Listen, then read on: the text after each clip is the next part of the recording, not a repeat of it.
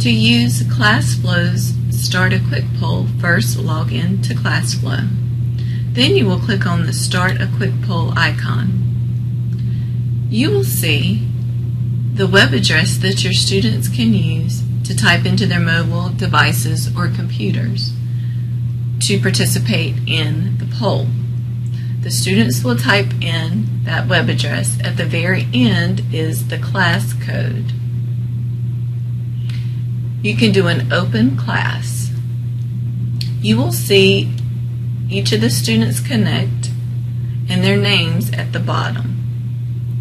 To start a quick poll, you will choose between the creative, word seed, text, number, multiple choice, scale, true, false, or yes and no question.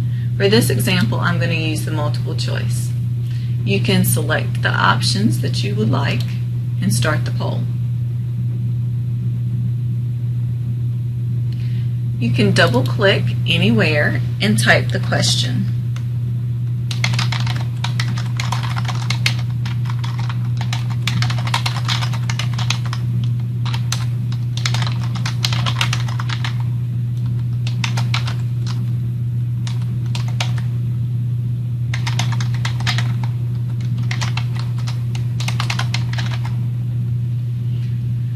And then you will be able to see your students respond.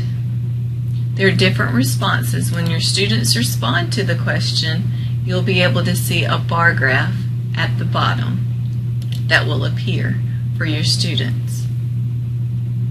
You can choose the option of show name, your students' names, or not.